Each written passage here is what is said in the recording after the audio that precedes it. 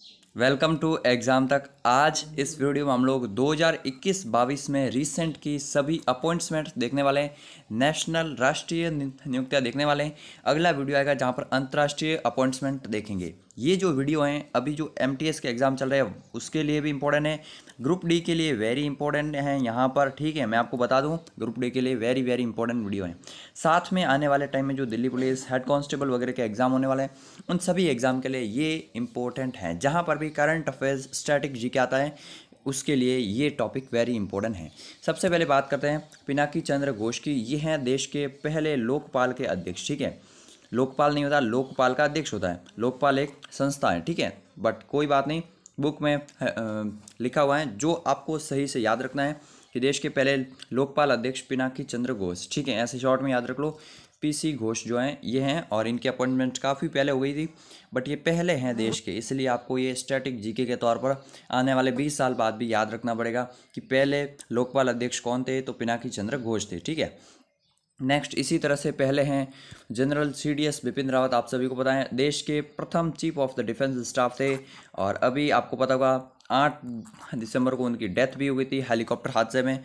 उनके बाद इनको पद्म विभूषण से सम्मानित किया। तो पद्म विभूषण भी आपको याद रखना, ठीक है?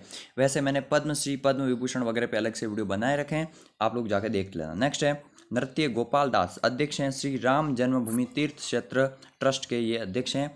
सो ये याद रखना, श्री राम जन्मभूमि तीर्थ ट्रस्ट के अध्यक्ष कौन है?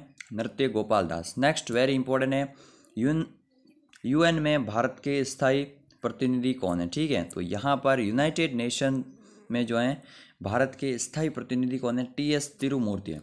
अभी जो यू एन जी ए वगैरह सेशन होते हैं, वहाँ पर यही भारत की तरफ़ से ऑफिशियल जो है मीटिंग्स वगैरह अटेंड करते हैं। नेक्स्ट है यूनेस्को में, इसी तरह से यूएन में है। तो यूनेस्को में भी रिसेंटली भारत के स्थायी प्रतिनिधि किसे अपॉइंट किया है? विशाल शर्मा को। इनका नाम याद रखना, विशाल शर्मा को अपॉइंट किया गया है। नेक्स्ट आगे बढ़ते हैं। ये इंपॉर्टेंट जो भी है, वो मैंने डाले हैं।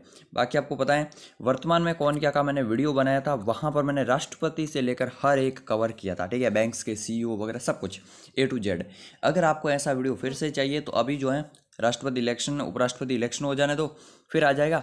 बाकी आपको क्या करना है एग्ज़ाम तक वेबसाइट पर, ठीक है?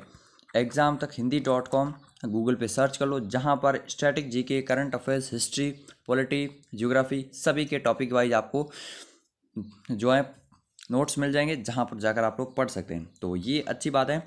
एग्ज़ाम तक पर जो वर्तमान में कौन क्या वाली पोस्ट है, वो हर रोज़ अपडेट होती रहती है डेली की डेली तो आप जाकर फॉलो कीजिए। नेक्स्ट आर एस शर्मा कौन है? ये हैं आयुष्मान भारत योजना के नए सीईओ सो आयुष्मान भारत योजना के नए सीईओ कौन बने? आर एस शर्मा बने इंपॉर्टेंट हैं।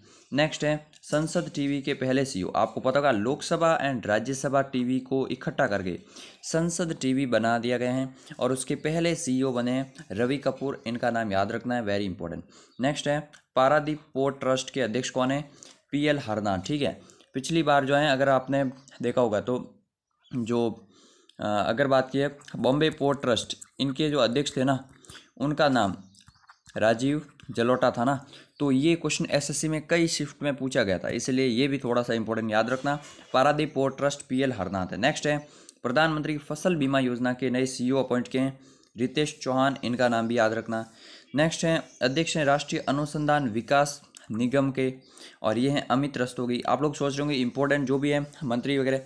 तो उन सबके ऑलरेडी मैंने टू पॉइंट ज़ीरो वाले चैनल पर वीडियो बना रखे हैं। आप आप लोग जाकर सब्सक्राइब कर लेना या फिर एग्ज़ाम तक की वेबसाइट पे जाकर पढ़ लीजिए।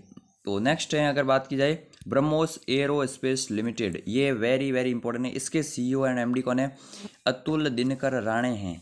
अतुल दिनकर राणे वेरी इंपॉर्टेंट है, क्योंकि रिसेंट में आपको पता होगा ब्रह्मोस किस, कौन सा देश है? इंडिया प्लस रशिया दोनों मिलकर बना रहे हैं और रिसेंट में हमने फिलीपींस को बेचा भी है, तीन सौ पचहत्तर मिलियन डॉलर की डील हुई थी। तो इसलिए याद रखना वेरी इंपॉर्टेंट है। नेक्स्ट है, राष्ट्रीय स्वच्छ गंगा मिशन के महानिदेशक कौन बने? तो जी, अशोक कुमार जो हैं, राष्ट्रीय गंगा मिशन के अगर बात की जाए, ये बने महानिदेशक, इनका नाम भी आपको याद रखना है।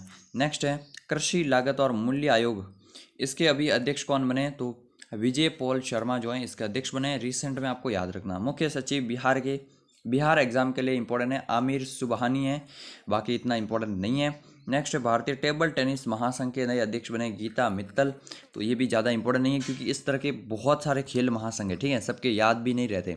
बट जो इंपॉर्टेंट इंपॉर्टेंट होते हैं, आपको पता है बीसीसीआई हो गया, या फिर जो इंडिया में फुटबॉल का हॉकी का जो है, उनके ऑर्गेनाइजेशन के, ये सब मैंने एग्ज़ाम तक की वेबसाइट पर डाल रखे हैं। नेक्स्ट है सेबी की पहली महिला प्रमुख। वेरी वेरी इंपॉर्टेंट क्वेश्चन आने वाले किसी भी एग्ज़ाम के लिए ये मतलब पूछा जाने वाला क्वेश्चन है, ठीक है? तो ये है माधुरी पुरी बुच माधुरी पुरी बुच जो है, ये सेबी की महिला अध्यक्ष बनने वाली पहली महिला है, ठीक है? 1992 में सेबी की स्थापना होती है। तो आपको याद रखना है सेबी की फुल फॉर्म है security exchange board of India ठीक है? शेयर मार्केट संबंधित ये जो है मैनेजमेंट करती है। नेक्स्ट है वेरी इंपॉर्टेंट ये भी financial action task force F A T F इसका हेडक्वार्टर कहाँ मिलेगा? पेरिस में मिलेगा इसका हेडक्वार्टर्स तो यहाँ पर अगर बात की जाए टी राजा कुमार इसके अध्यक्ष बने हैं नए तो इनका नाम भी इंपॉर्टेंट याद रखना। नेक्स्ट है L I C mutual fund के एम डी एंड सी ओ कौन बने? एल आई सी के अंदर, जैसे बड़ी बड़ी जो कंपनीज़ होती हैं लाइक एस बी आई है तो एस बी आई में क्या है? बहुत सारी सब्सिडरीज ऑलरेडी बनी हुई है ना? जैसे SBI कार्ड हो गया एस इंश्योरेंस हो गया सिक्योरिटीज हो गया तो इस तरह से। तो एलआईसी में भी म्यूचुअल फंड के जो हैं, अध्यक्ष मतलब एम डी एंड सी कौन बने? ये बने हैं टी एस रामकृष्णन। इतना इंपॉर्टेंट नहीं है। नेक्स्ट है, ये इंपॉर्टेंट है, चार धाम परियोजना समिति के अध्यक्ष कौन बने? ए के सीकरी जस्टिस ए के सीकरी हैं, ये सुप्रीम कोर्ट के जज रह चुके हैं। नेक्स्ट है देवाशीष पांडे ये बने इरडाई के अध्यक्ष, ठीक है? तो इरडाई जो है, इसके अध्यक्ष बने हैं देवाशीष पांडे इनका नाम भी याद रखना। एयर इंडिया एयर इंडिया के अध्यक्ष कौन है? एन चंद्रशेखरन है। ये अध्यक्ष हैं, ठीक है? एम डी एंड सी कौन है? कमेंट बॉक्स में आप लोग कमेंट कर कीजिए, क्योंकि यहाँ पर चेंज भी हुए थे। आपको पता होगा जो इलकर आईसी थे, इलकर आईसी को हटा दिया गया था। उनके बाद कौन बने हैं? कमेंट बॉक्स में कमेंट कीजिए। एंड नेक्स्ट कौन है? एमडी कौन है? दिल्ली मेट्रो रेल कॉरपोरेशन के। तो दिल्ली मेट्रो रेल कॉरपोरेशन के अध्यक्ष हैं विकास कुमार, ठीक है? तो विकास कुमार का नाम याद रखना। इंपॉर्टेंट है। नेक्स्ट है यूपीएससी के अध्यक्ष कौन बने? डॉक्टर मनोज सोनी जो है यूपीएससी के अध्यक्ष बने हैं। इनका नाम याद रखना। डिजिट इंश्योरेंस जो है कंपनी इसकी एम डी एंड सी कौन बनी? जसलीन कोहली इतना इंपॉर्टेंट नहीं है, देख लीजिएगा।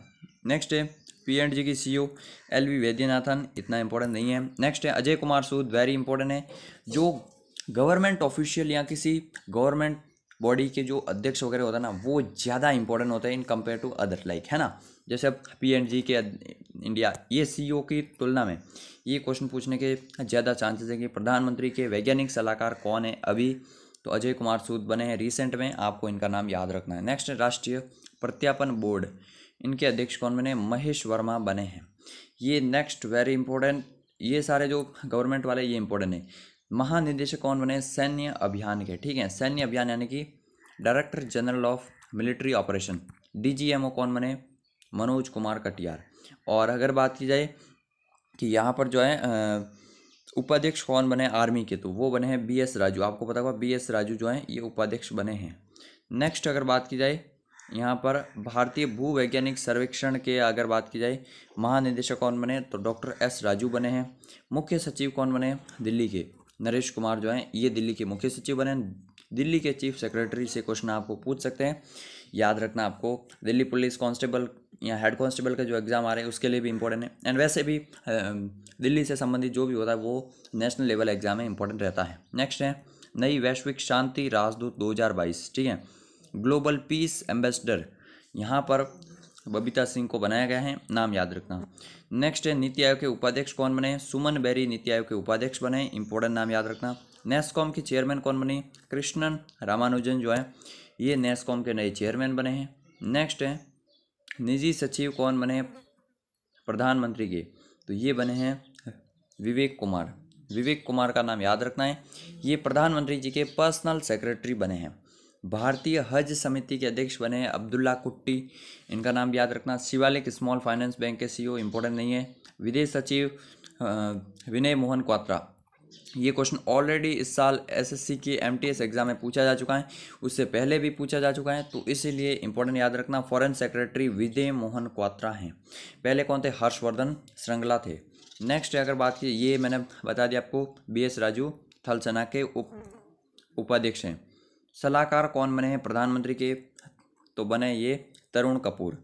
नेक्स्ट है सीबीडीटी के चेयरमैन कौन बने? तो सीबीडीटी के चेयरमैन ये अभी नहीं है। चेंज हो चुके हैं। ठीक है, यहाँ पर ओल्ड लिखा हुआ है। न्यू अपडेट में आपको नेक्स्ट वीडियो बहुत जल्दी जो है एग्ज़ाम तक टू पॉइंट ज़ीरो पर आएगा। वहाँ पर हम इस तरह से बुक से नहीं लेंगे, है ना? वहाँ पर हम खुद की पूरी पीपीटी बना के पीडीएफ बना के अच्छे से बताएँगे। सो वो वीडियो का वेट कीजिए, बहुत जल्दी आ जाएगा। नेक्स्ट है सचिव हैं सूचना प्रौद्योगिकी मंत्रालय में अलकेश कुमार शर्मा बने हैं। मुख्य चुनाव आयुक्त कौन है? राजीव कुमार जी हैं, इनका नाम याद रखना। सुशील चंद्रा जी की जगह बने हैं। और भारतीय उद्योग परिसंघ, कॉन्फेडरेशन इंडस्ट्री इंडिया, ठीक है? सीआईआई के अध्यक्ष कौन है? संजीव बजाज जो है, ये सीआईआई के अध्यक्ष हैं। तो ये आपको इतना सा याद रखना। वेरी इंपॉर्टेंट ये भी आई थिंक चेंज हो चुके हैं। तो जो भी इंपॉर्टेंट है इंपॉर्टेंट क्योंकि काफ़ी टाइम से हमने वीडियो नहीं बनाए थे, इसलिए काफ़ी कुछ चेंज हो जाता है। तो यही था आज का वीडियो बहुत जल्दी, अभी मैं आपको बता दूँ, अगर आपको स्टडी एग्ज़ाम तक के साथ में करनी मैं आपको बता दूँ। एक तो एग्ज़ाम तक हिंदी डॉट कॉम वेबसाइट पर नोट्स आपको सारे मिल जाएँगे। टेलीग्राम चैनल पर रेगुलर क्विज होती है। और हाँ एग्ज़ाम तक इस चैनल पर कैसे वीडियो आने चाहिए ठीक है, अभी से कंटिन्यू वीडियो आएगी। तो टू पॉइंट ज़ीरो पर तो वीडियो जाएँगे टॉपिक वाइज स्टैटिक बिल्कुल फैक्ट के साथ। इस चैनल पर कैसे वीडियो आने चाहिए, क्या इस तरह से एग्ज़ाम को फोकस करके आना चाहिए, या फिर किस तरह से आप लोग कमेंट कीजिएगा। तो जय हिंद, जय भारत।